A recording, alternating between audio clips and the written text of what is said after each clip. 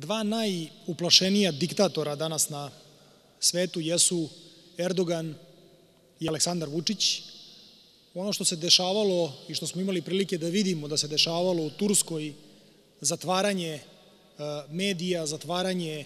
onih koji drugačije misle, više desetina hiljada onih koji e, e, su iznosili drugačije stavove u odnosu na predsednika Turske, bili su prognani, bili su zatvarani, šikanirani, otpuštani. Nešto blaži scenario se dešava u Srbiji, ali je to početak koji će se završiti isto kao i u Turskoj. Poslednji lokalni mediji koji preživljavaju torturu Aleksandra Vučića i ovog režima dešavaju se iz prostog razloga što režim ne može da istrpi kritiku ni na lokalnim medijima koji ne samo da se ne vide u celoj Republici, ne samo da nemaju toliko širok auditorijum, već nemaju ni osnovnih sredstava za finansiranje, s obzirom da nisu opozicioni, već su isključivo neutralni mediji. Danas ne postoji ni jedan opozicioni medij u Srbiji, postoji isključivo nekoliko neutralnih medija od ovih lokalnih koje smo imali prilike da pomenemo, što pisanih, što lokalnih televizija, jedna od poslednjih koja trpi ovaj pritisak jeste KTV, Zrenjaninska televizija, pritisci na vlasnike, pritisci na članove njihovih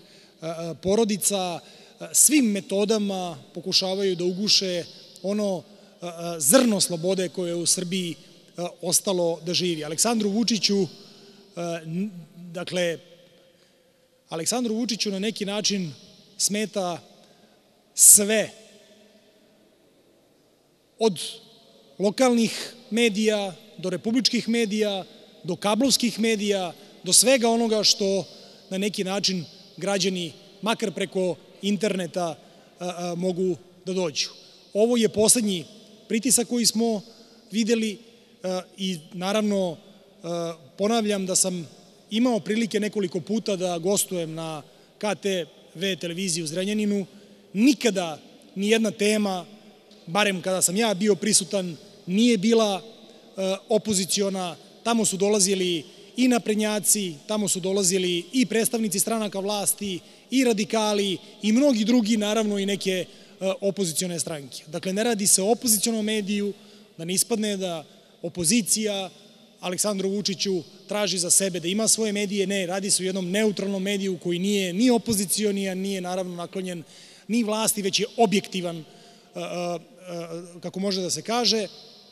a naravno evo i to smeta režimu Aleksandra Vučića koji ne trpi apsolutno ni jednu reč koja je izgovorena protiv onoga što radi danas Srpska napredna stranka, protiv onoga što vladi, radi vlada Republike Srbije i što rade naravno ministri